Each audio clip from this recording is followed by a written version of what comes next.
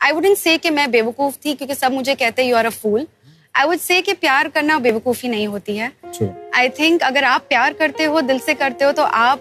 एक अच्छे इंसान हो जो आप दिल से करते हो। You are a pure soul और uh, जो खेल खेल रहा है ही इज़